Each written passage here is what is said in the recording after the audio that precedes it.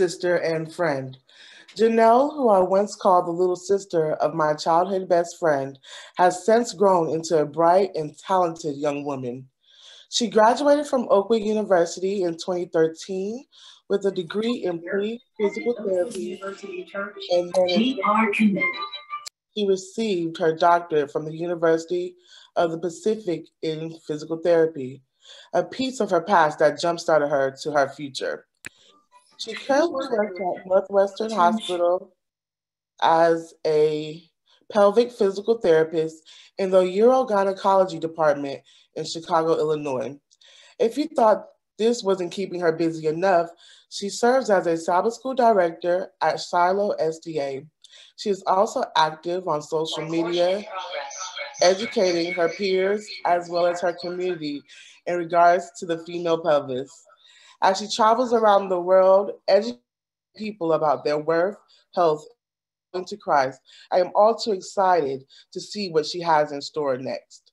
Dr. Janelle Howell. Amen.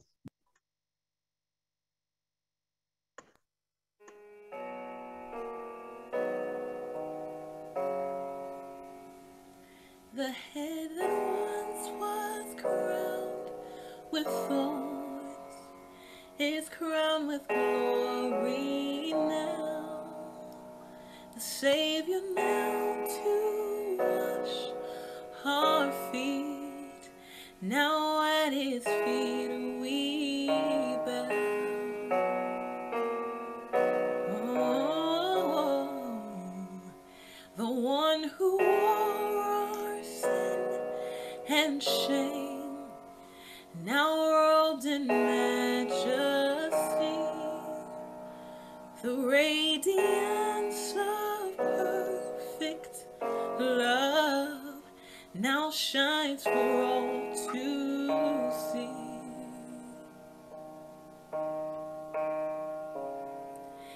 Your name, your name is victory. All praise will rise to Christ our King. Your name, your name is victory. All praise who will rise to Christ our King.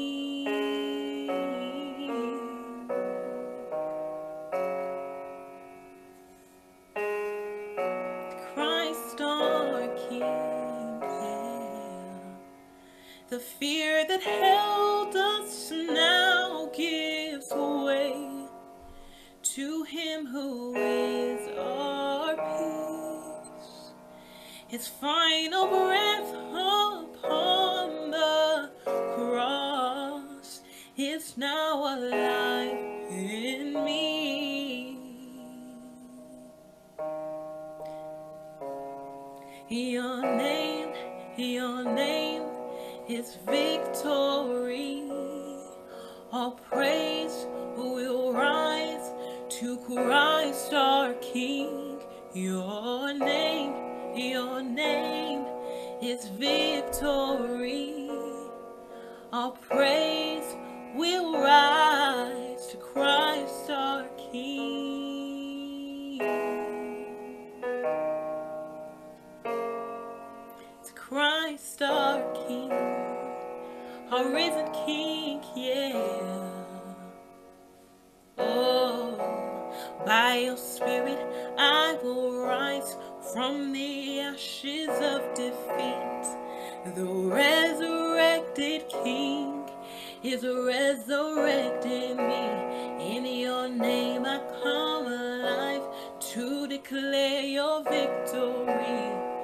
The resurrected King is resurrecting me. By your spirit, I'm gonna rise from the ashes of defeat. The resurrected King is resurrecting me. In your name, I come alive to declare your victory.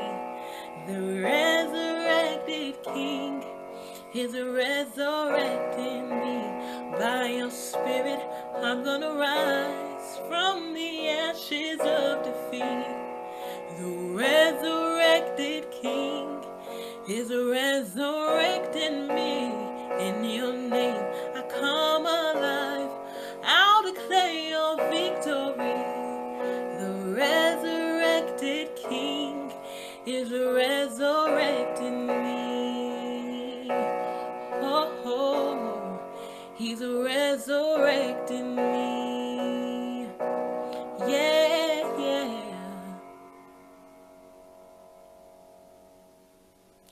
The tomb where soldiers watched in vain was borrowed for three days.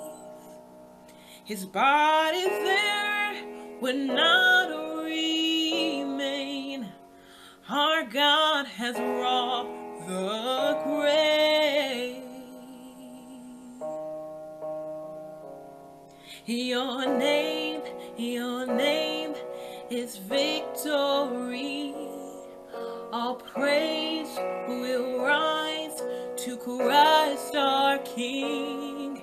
Your name, your name is victory. All praise will rise to Christ our King.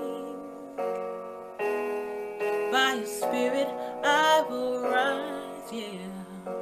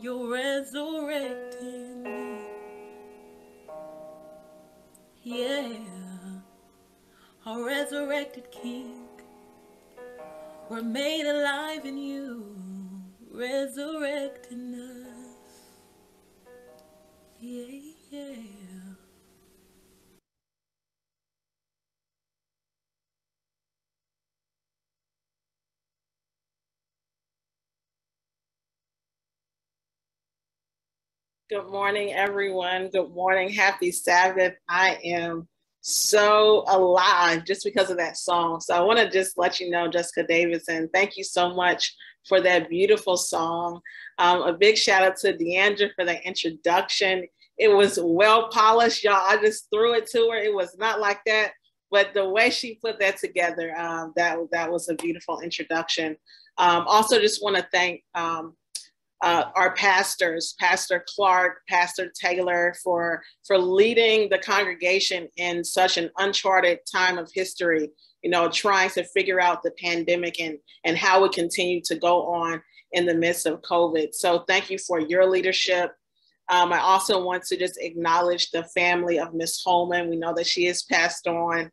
I mean, all of our seasoned adults. You know, you're you're like the cayenne pepper. I know we're um, it's young adults today, but we appreciate our older adults too. We appreciate that that garlic powder and that cayenne.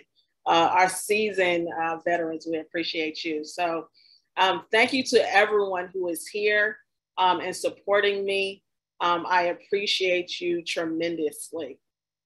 I am uh, especially excited to to speak today because you know it's Black History Month, and I'm excited and thankful for this responsibility uh, that was given to me uh, by, by you all. And so I do want to encourage you all, though, to be very active in the chat. I cannot see anyone. Um, I'm actually looking at Miss uh, Elder Finley's screen. So that's what I see right now. So it will help me if something uh, speaks to your heart during the service. Go ahead and chat uh, send something in the chat, a reaction, so that we can engage with each other um, today. And so, the topic that I am really just thankful and excited to think about um, is Black mental health and wellness. And that has really definitely gained some traction over the years. I know when I think of that, I think of like maybe sitting in a chic office with a black psychologist discussing my childhood, you know, maybe have a vanilla latte in hand and then leaving that that day going to to pick up a green smoothie, then going to bed early that night reading the book of Psalms. You know, this is the picture that I have when I think of black mental health and wellness. But what I want to show you uh, from the Bible is that godly wellness looks a little bit differently than what we may think of it to be. I want to suggest to you all that the road to godly wellness can sometimes be very dark. It can be numb and it can be a, st- a steep uphill battle.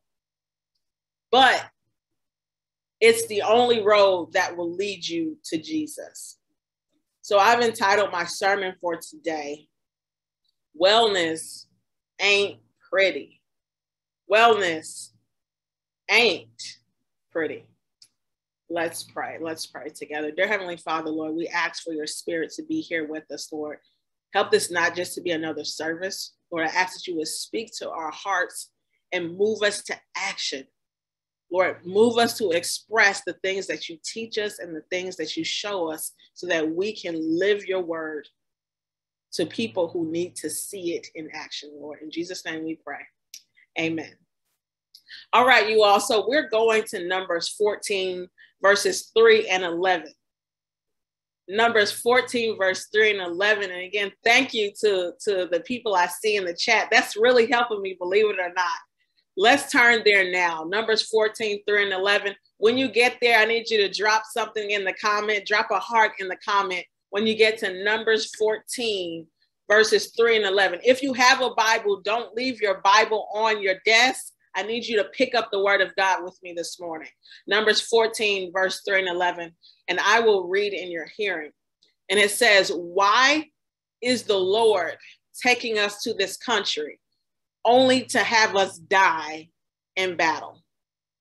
Our wives and our little ones will be carried off as plunder. Wouldn't it be better for us to return to Egypt?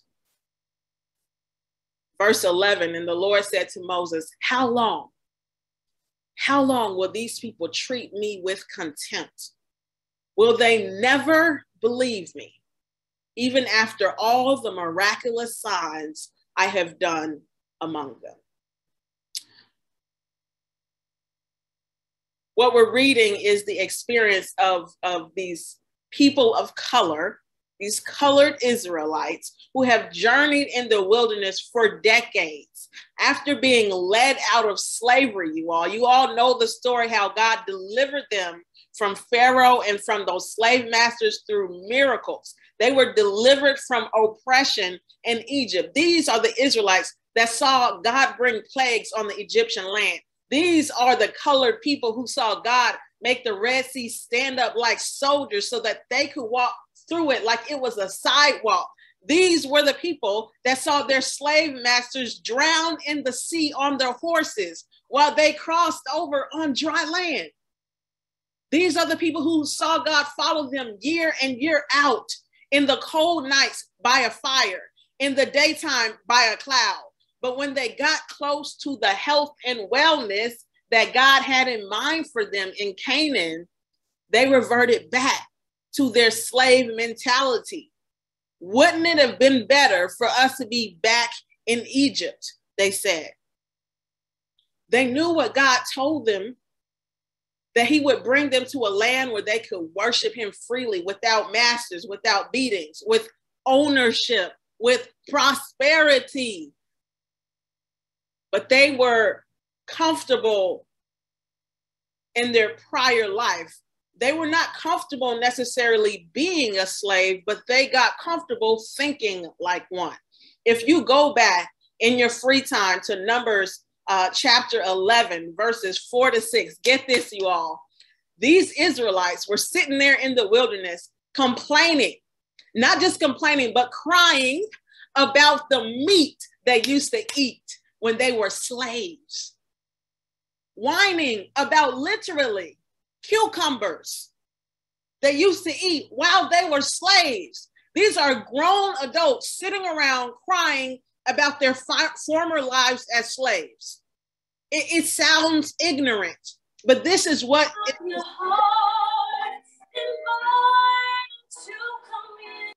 It yeah, that was beautiful though. But yeah, um, so so what we're seeing now is that that they are being led to to a wellness that God has in mind, but they're complaining about the fried chicken that they used to get in Egypt. They're complaining about all those easy pleasures that they used to have. Then in chapter 13, after inspecting the land of Canaan, after they went out and looked to see what the land would look like that God was drawing them to, before they would overtake this land in battle, they got scared when they saw how tall the buildings were, how tall the people were. Y'all, I want y'all to imagine with me right now that, you know, we're Huntsvillians and we're trying to overtake New York City. So we send out Elder Finley, Elder Getfield, and Elder Quentin Jones to size up NYC and bring us back report of what it really looks like before we try to overtake NYC.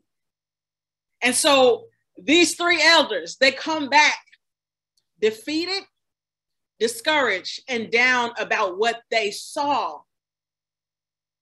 believing that they cannot defeat that city. So then they came back and they give the Israelites a horrible report.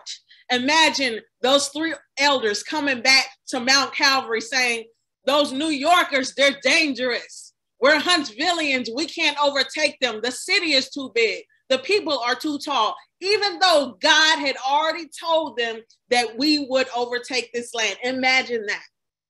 They were so focused on the things that they saw that they could not embrace the vision God gave. I want you this morning to forget about all the things that are right in front of your eyes for a second. Satan, it's his plan to have you so distracted by all the things that you see that you'll forget about all the things God has told you to do with your life. And this is the first mindset that we have to, to endorse if we want to reclaim Black mental health. Number one, we have to ignore all the stuff we see and embrace the vision Jesus has given to us. Vision is a mindset. You can't depend on your sight. Vision is spiritual, sight is physical. And the only way to ignore the things we see is to cancel cancel this complaint culture. Someone put that in the chat. Cancel the complaint culture. Cancel that. This culture, the, the complaining culture, will have you complaining about your boss, complaining about going to work, complaining about actually having a job, complaining about how much debt you have, complaining about how many bills you have, which means that you probably have a house, complaining about how much weight you've gained, complaining about how much the young people uh, don't do, complaining about who isn't at church, complaining about what your wife or husband doesn't do, complaining that you don't have enough clothes. And that is right where Jesus is not. You can't embrace the vision that Jesus has given to you without the mindset that Jesus has. Jesus is not into complaining. Philippians 1 says, Let this mind be in you that was also in Christ Jesus. And that is a mindset of selflessness, not complaining about what you have to sacrifice and what you've got to do. Our God is not into complaining, and it is the quickest way to not only lose sight of the vision that God has for you, but to waste time sizing up your problems instead of setting up your solution. You will find yourself complaining about all the different things that you have to do, all the different responsibilities that you have, all the different health problems that you have, all the different exams that you have that you have to take. That is a scheme of the devil to have you focusing on your problems instead of sizing up your solution. Every time you sit around complaining about your health, about anything, those negative thoughts, those habits and behaviors are reinforced, giving the devil ammunition to keep you scared, discouraged, and defeated. To embrace the vision God has for you, you'll need to have a funeral for this complaining culture. You'll need a team, though. Uh, I said you'll need a team to do that. You can't cancel the culture around you without a team helping you to do that. These folks had literally crying parties. If you go into this chapter, you'll see that they got together and they started crying together. They were weeping and crying all night, crying about the cucumbers, crying about the chicken, crying about everything that they used to have. Crying about when they saw the Canaanites, crying when they saw the Amalekites. They were literally gathering together and pass the tissue so that they could whine together. They were used to living a life of familiar slavery in Egypt. And now they were using the community of complaint culture to gas up their excuses, their fears, and validate, validate their lack of vision. I want to tell you, sis, if you're listening to this, don't you call up your girlfriend and stay on and stay on the stay on the stay on the phone Tyrone played you and he doesn't call you and he doesn't text you and you're still single and you've been single for 10 years. Let me tell you to throw the tissue in the toilet and start getting around some courageous women of God that move towards the places God is calling them to, not sitting in a vibrating chair, allowing Satan to keep you comfortable in a room that has no doors of opportunity. And this is what Moses had to do. He had to stay close to Aaron. He stayed close to Caleb. You'll see that later on in the chapter, right? He stayed close to Joshua because they were men of faith who believed in a big God and they believed in prayer. See, there's a reason why God led them by one pillar of fire at night. Have you ever thought about why God led them by one pillar of, of fire by night? Our God could have gave every single family one lantern one candle. Each family could have had their own candle that never went out to guide each and every family. But no, God made it so that there was only one pillar of fire, so that they had to stick together, so that no one could drift off in the night, so that no one could go off to the side, so that no one can become discouraged. They were all one group. That was the plan, at least, that God had for them.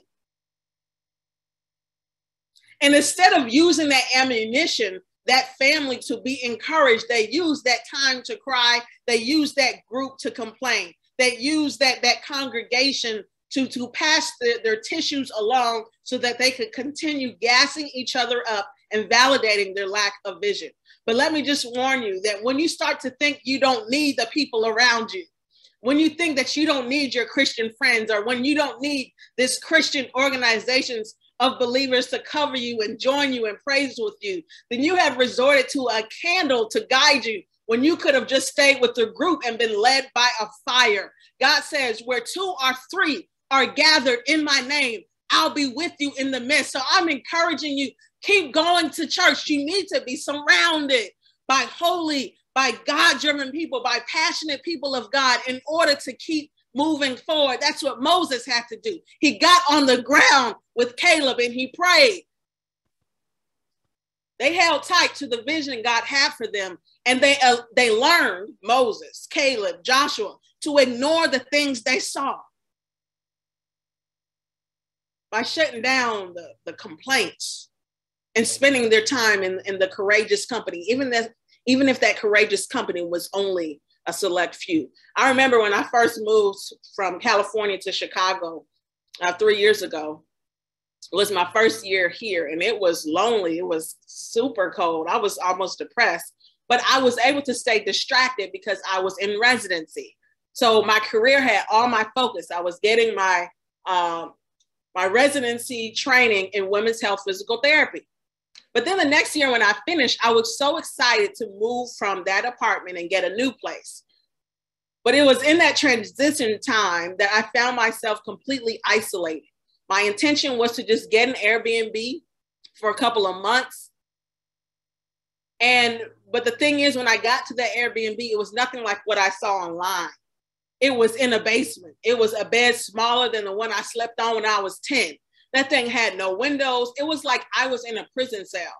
And while I was there for those two months, I didn't have that social interaction. I didn't have those encouraging words. I didn't know anyone really in Chicago. And, and it was really a depressing environment for me. And all I had was my thoughts there. And it wasn't, it wasn't good thoughts. It was just lonely. And I eventually ended up becoming roommates with someone named Sabrina, who I went to college with, Oakwood College. And we both moved into a two bedroom, two bath apartment in the south side of Chicago. The, the thing about this was that Sabrina was down to earth, sassy, but she was a Christian woman. On Sabbaths, I'd hear her with the gospel music on in the morning. In the middle of the week, she'd be going to Wednesday night service. On the weekends, we would watch different movies uh, with with with Priscilla Shirer. We both even started a prayer closet, and we were feeding off of each other's energy. And it was that courageous company that I had to get around to enable me to embrace the vision of godly wellness that was really my birthright. Because Satan knows full well what happens when we don't have courageous people around us to pump us up. And Jesus knows exactly what happens when we do. This is why the word says in Hebrews 3:13, exhort one another's daily, every single day, encourage someone in the Lord. First Thessalonians 5:11, encourage one another and build each other up. Even Jesus, while he was gasping for his last few breaths on the cross, he said to John the disciple and to his mother, he said, Woman, behold your son. To John, he said, Behold your mother. Y'all, all the bitterness, all the anger, all the complaining, it annoys the Holy Spirit, and the Holy Spirit is our helper. So I'm not suggesting that you cancel every one of your friends and go find new ones because that song is too often sung. I'm suggesting that you be the modern Moses, you be the modern Caleb, you determine to affect, infect those around you with some tenacity in the face of tragedies, with some integrity in the face of irresponsibility, with some purpose in the face of impurity and pornography, with some meekness in the face of a me society. When or if you can't find company of courageous people, don't sit in a corner and make the gospel a secret. Create a company of courage by embracing the vision God has given to you for your life, by doing what He has already told you to do with your life. So, the next step we have to take on the road to godly wellness is to neglect all pleasure outside of divine purpose. Ooh, ooh, ooh, that one. That one right there if we are going to achieve the vision that God has for us, we have to realize that even things that God have, has made, he, he is the one that's made pleasure. If it is outside of the purpose that God has for us, we have to neglect that. Because the Israelites were, were eating these plain crackers that Jesus was sending down, that God was sending down before he came flesh, before he became Jesus, Son of God, sending these, these crackers down and they didn't have all the sugar. They probably didn't have the garlic powder. You know, it was some bland, maybe. And the Israelites were eating these crackers in the in the wilderness, and they were craving more pleasurable experiences that they had when they were slaves. Numbers 11, verse 4 says they were crying about who would bring them meat, who would bring them some turkey, some chicken, some, some, some bacon. Thinking back on that and how they used to eat the onions and the cucumbers, but they didn't understand. Hear me, y'all. They didn't understand that all pleasure outside of God's purpose eventually will lead to pain. And all pain in the midst of God's purpose will eventually lead to pleasure. Hey, somebody should have just got encouraged right there. So while they were no longer slaves, they still thought like slaves they did not have the mindset to take accountability for the responsibility. They now had to embrace the vision. Let me tell you that when God shows you light, when you do Bible study, when you hear that sermon, when God shows you the truth, You now have a responsibility.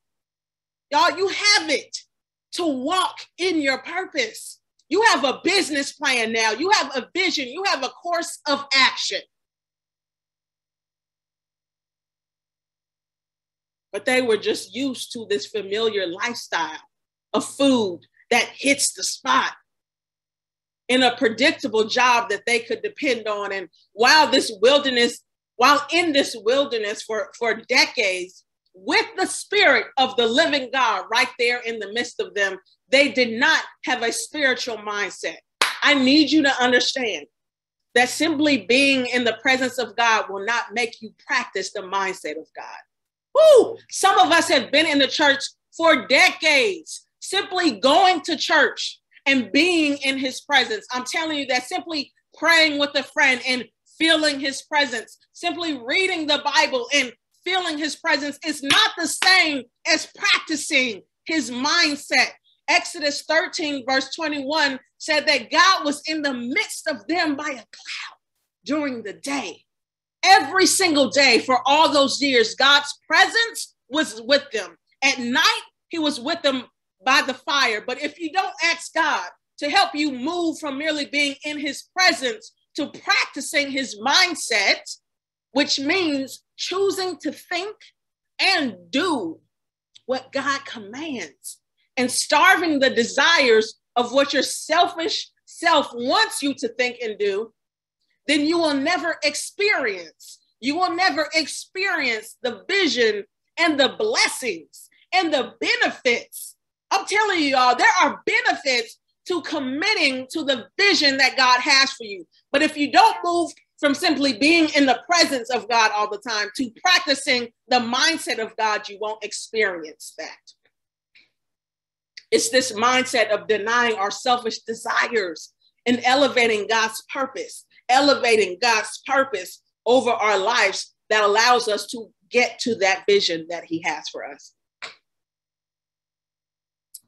So, so the Israelites were not just eager to experience temporary pleasures again.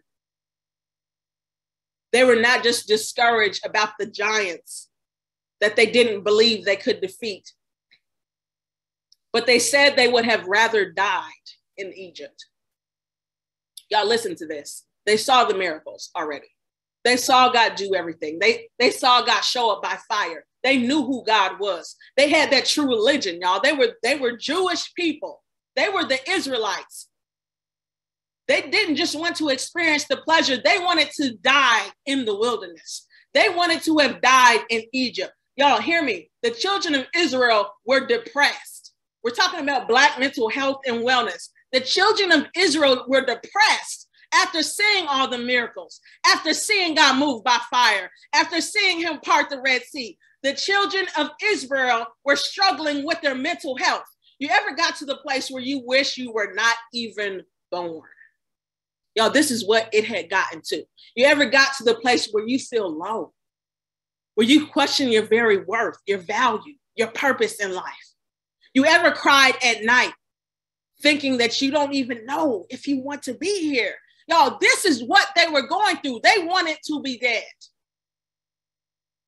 struggling through suicidal ideations and going through a mental health challenge before there was a psychologist chair to sit in. That was the Israelites. Y'all, they were struggling. The thing with pleasure is that there is no effort that must be put in with pleasure. Getting drunk all the time, that's easy. Eating six slices of pizza, I can attest, that's easy. Laughing your guts out about someone who may look crazy, that's easy. Cheating on your partner, that's easy. Laying on the couch all day. That's easy. This stuff takes no effort, no challenge, no work. That's just all dopamine, all oxytocin, all serotonin, no stress hormones involved in pleasure. And they were married to a life of comfort and familiar, familiarity. They didn't want to work to inhabit Canaan. They didn't want to, to practice what God was saying for them to inhabit Canaan. They didn't want to go to war. They didn't want to go up against these giants, not because they were afraid of failure, but because they were afraid of struggle. Y'all hear me now. They were not afraid of failure. They were afraid of the struggle it would take to get there. And today, look, if you're still resorting to partying and alcohol when you know you don't want to do that, then you're not afraid of failure on the other side. You're afraid of the struggle to overcome that and get to the other side. If you're still resorting to putting off school and applying to college and and but you hate the predictable job that you have right now, you're not afraid of failure because you feel failure right now, maybe. You're afraid of the struggle to return back to school. And if you still resort to avoiding your loans, your credit cards, your, your student debt, but you're still eating out, shopping every day, buying knickknacks on Amazon, it's not that you're what, what you're afraid of. It's the struggle to overcome that mentality that you're afraid of. Y'all, the road to godly wellness must include struggle because the struggle is God's way of navigating our spiritual cars to his home. Don't be afraid of the struggle. God did not have to send the Israelites through the wilderness for all these years. God did not have to tell Satan to consider Job as a laundry basket for the devil to dump family death, sickness, abandonment onto. God did not have to place Jonah in the belly of a whale to get him to listen to the assignment. And God did not have to have Jesus hanging on a cross with nails in his hands and feet for him to die in our place. But this is the Christian road to divine wellness. If the road you're on does not include some struggle, I suggest that it's not a Christ led road. If you encounter no difficulty on the day to day, if you encounter no guilt after you say those cutting words to someone, if you encounter no remorse after you leave her house that night, if you don't have to tell yourself to stop and listen to that homeless person trying to get your attention on the street, if you very easily, without any struggle, pass across a broke person with a cardboard sign and have no compassion, no struggle at all, then that is not a road to godly wellness. Jesus said, Whoever wants to be my follower, if you really want to call yourself a Christian, this is what Jesus says in Luke 19, verse 10. You've got to give up your own way. You've got to struggle. You've got to take up your own cross and follow me. He said, You've got to do that daily. It's the struggle that the Israelites were afraid of to get to Canaan. They didn't want to struggle to get there, they wanted handed to them. So stop telling yourself that you're afraid of failure. You may already be experiencing failure right now. We fail if we don't try, and we may fail even if we do try. But when we don't try, there's no struggle. When you are embracing the vision and not the things on your cell phone, not the things in your environment, not the worldly success, not the vanity of popularity, not the drugs of purpose, purposeless pleasure, then you will be committed to Christ and courageous company. And you will learn to reject all forms of pleasure outside of your purpose the very last step that we must take if we want to embrace the cloud above us, which is his presence and his vision, is to reject faith that you feel. Uh, I'm going to say that again.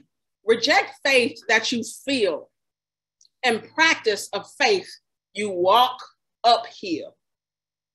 These Israelites only believed as long as they were amazed, only believed as long as God did magic tricks in front of them. Does that sound familiar? Only at church when you've recovered from COVID. Only listening to gospel music when you got uh, the promotion. Only giving the testimony when you passed the class you didn't study for. We have been bamboozled into thinking that faith is something we feel. But faith is not an emotion. Faith is not an emotion. Faith is a movement towards a person. The Bible says, walk by faith. The Bible says that faith without works is dead. God was not bringing the Israelites to Canaan just so that they could have honey on their toast.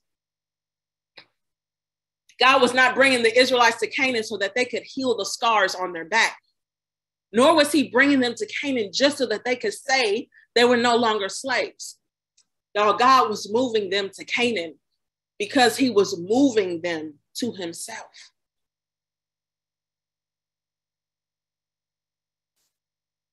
God says in Exodus 19, verse 4, this is God speaking.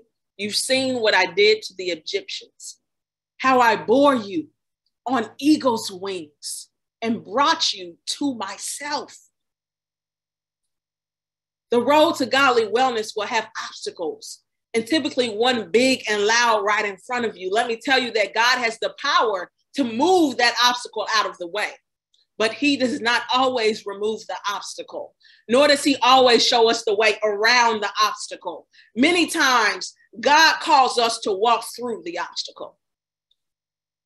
The Bible says, through the fire and through the floods, through the fire and through the floods, He will be with us. When the Israelites rejected Canaan and rejected that vision God gave to them, they weren't just rejecting a new hometown, they were rejecting Jesus.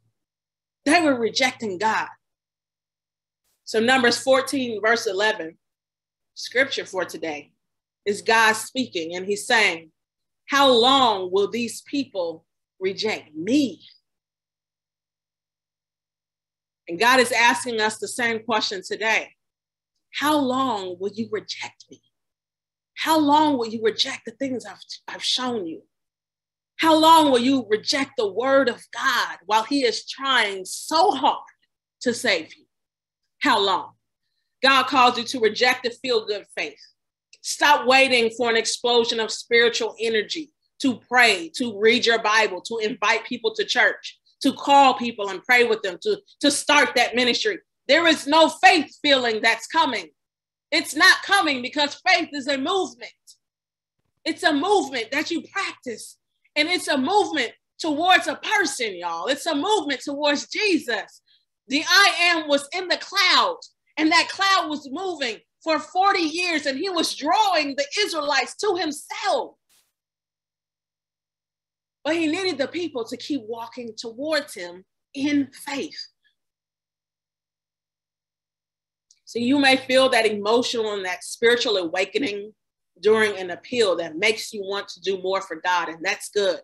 You may get excited and say, That was deep after a good sermon or Bible study, and that's good. You may even go as far to cry and feel a real sense of repentance during a good song, but these are, are largely led by our emotions and faith is not an emotion. As long as we continue to need good sermons to be in tune with God, as long as we need a church packed with people our own age, as long as we need music that just does it for us, then we are no different than spiritual brats. Must have our own way at all times, must be soothed by the things we see and feel. And if anything comes along that is more than what we signed up for, then we're complaining and we're crying. But God wants you to keep moving to Him. He wants you to keep letting His presence and His word tell you what you have to do in every phase of your divine wellness journey. It was not the, the giants that came to the Israelites that scared them away from Canaan. It was God who told the Israelites to go look at what was ahead. It was Him who told them to go inspect the land. It is God who frequently places these obstacles in front of us. It is God who allows us to go to the cliff of our faith because he wants us to decide to believe that he will carry us. It was God who told them to see, to go see just how intimidating, just how impossible, just how expensive, just how embarrassing, just how steep the journey was to him. But God wanted to be chosen by them. He gave them an opportunity to practice a faith that moves, a, a faith that walks. And I'm here to tell you today that God wants to travel with you. God wants to travel with you, that He's taking care of the price of the ticket. That there was a ticket too expensive for you to pay. And He's paid that price, you all. He just needs you to check in. He's given you your boarding pass, but you've got to keep checking in daily. This is a line that you have to get in every single day. He wants you to go the extra mile with him. He wants you to see that you belong on that plane. He's not just bringing you to a better hometown, to a better house, a better car, a better GPA, a better boyfriend, a better position, a better outlook. He's trying to bring you to a place where the two of you can stay forever, for eternity. But he needs you to keep moving towards him. He needs you to leave the things he's saying to leave, to love the people he's saying to love, to lead in the way he's saying to lead. So, you all, I, I have to say to you, keep embracing the vision. Neglect all pleasure outside of your godly purpose and start practicing a faith you walk.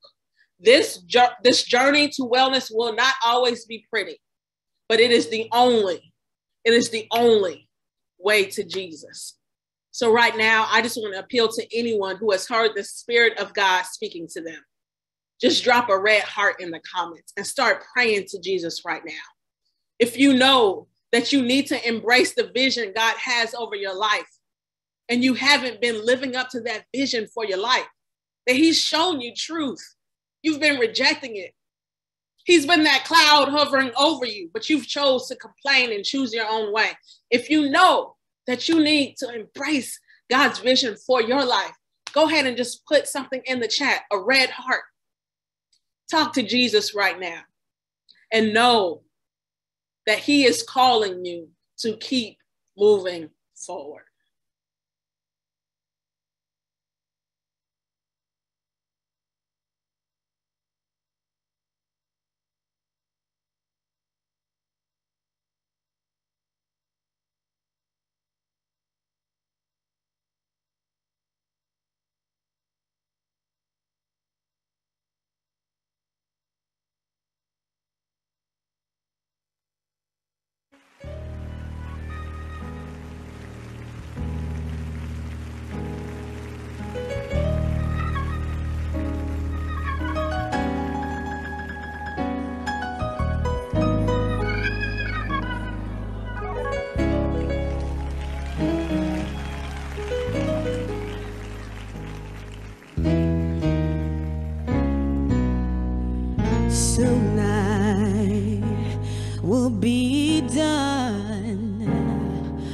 The trouble of this world. Ow, the trouble of this world. Trouble of this world. Be done with the trouble of this world. I'm going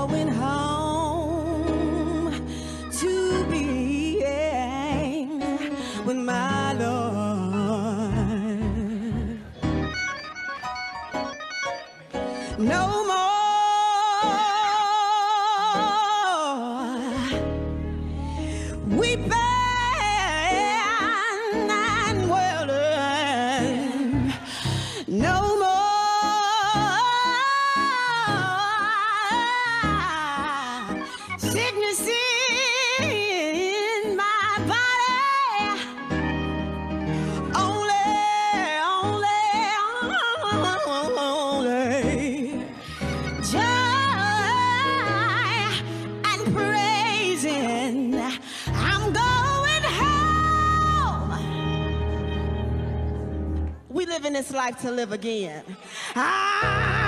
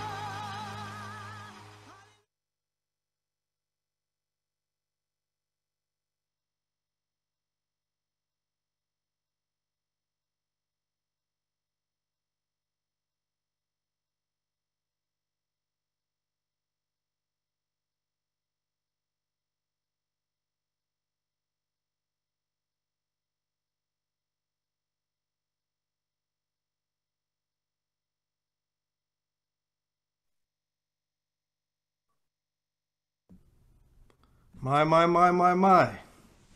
That was a word from the Lord. Hey, look, I gotta, I need to go see a doctor about my toes, man, because they've been stepped on, crushed, destroyed. In fact, I have my notes right here. This is it right here, Dr. Howell. It says, Embrace the vision that God has for me. Let go of complaint. Embrace courageous company. Have a spiritual mindset and let go of a slave mentality. Let go of temporary pleasures. Work to inhabit Canaan. Embrace the struggle and reject a faith that you feel because faith is not an emotion. I was blessed by that word, Mount Calvary, and I'm pretty sure that you were blessed too. Laquaze, you got it next week, brother. That mic is on fire, bro. I'm glad it's you and not me. That mic is on fire. So, so good luck, Laquaze. Good luck. Um, but I was blessed by that word, Dr. Howell. Thank you, thank you so much. I think that was a master class in in, in, in wellness, black wellness, and, and, and having that mentality, you know, that winning mentality spiritually. Thank you for that word. Let us pray now as we close out our service for the day. Let's pray. Father, we want to thank you for sending this spiritual warrior, uh, this mighty woman of God, to give us a word today, Lord. We thank you for the charge that you have given us. We have the courage now to, to inhabit Canaan. We have the courage to let go of these worldly pleasures and to and to embrace a, a, a community, to embrace a faith that is beyond feeling. And Lord, we want to pray for those who have been moved by this word, for those who feel as though they want to act upon it, God. But the enemy's here, and he's now trying to, to remove the seeds that have been planted. He's trying to now discourage us from doing the things that you have give, given us permission to do this morning uh, through the word. So we pray that you will send your holy angels to, to stand around us, God, to shield us from the forces of darkness and to, to pour out your Holy Spirit in our hearts and our minds so we can act upon your word. In Jesus' name we pray. Amen.